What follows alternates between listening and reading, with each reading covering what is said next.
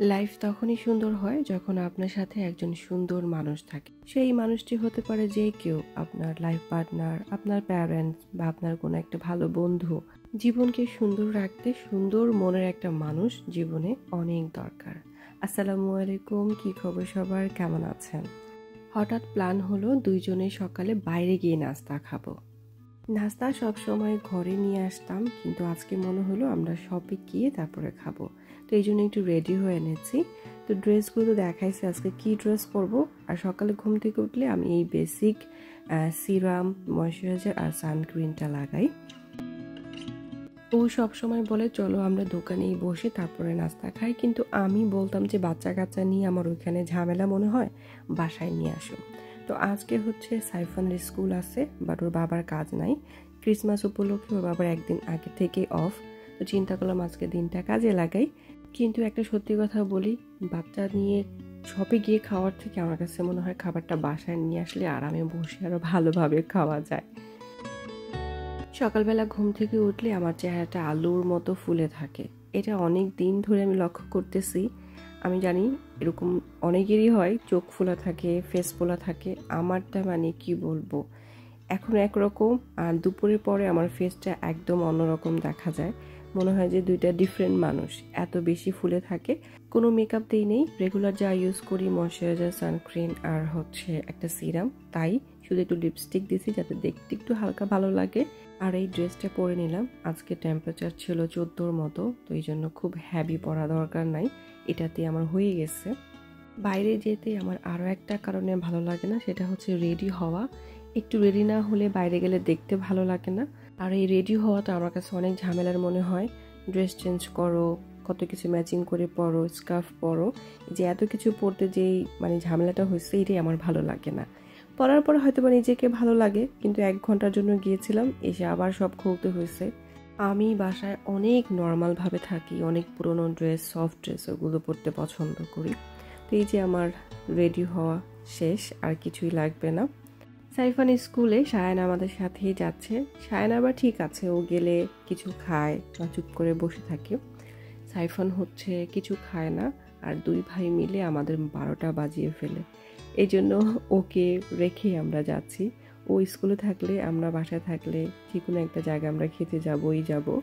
আজকে আসছি হচ্ছে চায়ওয়ালাতে। নর্মালি হচ্ছে আমরা লাহোরি, নিহারির থেকে সবসময় সকালের নাস্তাটা নেই। তো ওরা শুধু সানডে করে। আজকে বন্ধ। দশটার দিকে আসছি, কিন্তু মোটামুটি সব দোকানই বন্ধ। আর আমরা অনেক দোকানে খাবার খেয়েছি, সব দোকানে খাবার মজা না।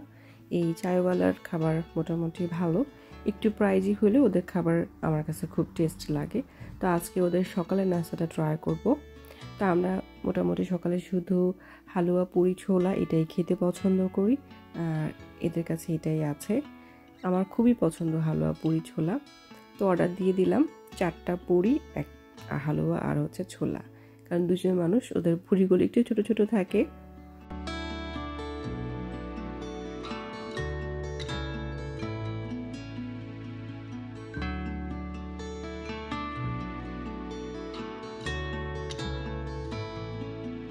চাইওয়ালাতে আসছি আর চা অর্ডার করব না, তাতে কি হয়? তো একটা চা ছিল আর এই যে আমাদের এক সেট চলে আসছে আর এক সেটও আসবে।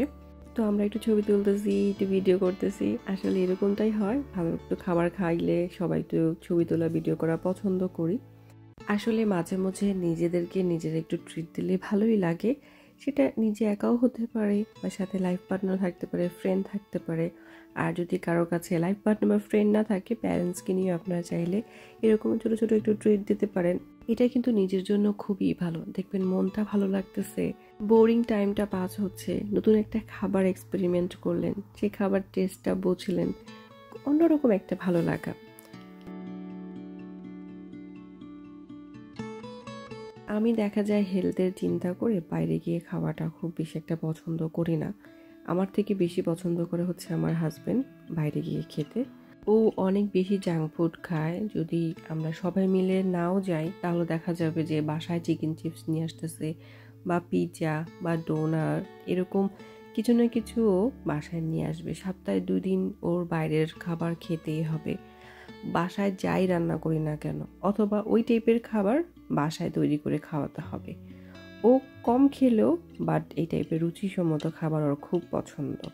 তো আমাদের খাওয়া দাওয়া শেষ, মাত্র এক ঘণ্টা ছিল আসা যাওয়ার খাওয়া সময় নিয়ে।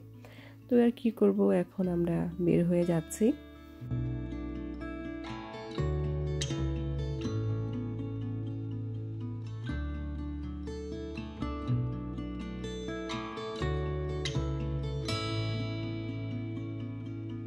সকালে আমার ফেস এত বাজে লাগে, কি বলব? অ্যানিওয়ে সবাই অনেক ভালো থাকবেন, সুস্থ থাকবেন।